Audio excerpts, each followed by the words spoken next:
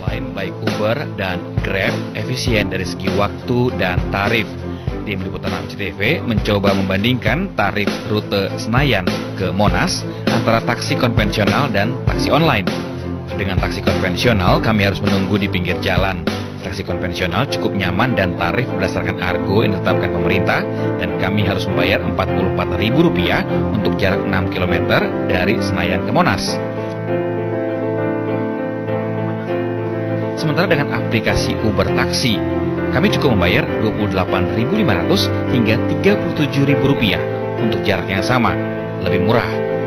Menteri Perhubungan sepakat aplikasi taksi online amat membantu masyarakat karena efisien dari segi waktu dan tarif namun izin resmi harus segera dikantongi. Aplikasi untuk anu transportasi sangat setuju. Nah, tapi kalau transportasi umum itu harus ngurus izin transportasi umum, harus nanti mendaftarkan diri sehingga juga ada NPWP-nya dan sebagainya, ya dan harus dikir. Kemarin malam perwakilan dari Grab dan Uber Taksi melakukan rapat setelah dipanggil Kemenkominfo terkait permintaan Menteri Perhubungan untuk memblokir situs Grab dan Uber Taksi. Dan kita tidak bisa mengatakan diblok atau tidak diblok mengenai aplikasi online-nya. Tentunya faktanya adalah ada uh, aturan, ada undang-undang mengenai transportasi.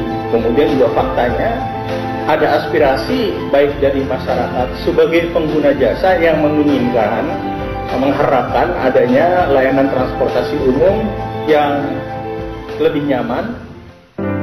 Kini sedang dicari jalan tengahnya, antara lain dengan bekerjasama dengan Kementerian Koperasi dan UKM untuk mengurus izin Grab dan Uber.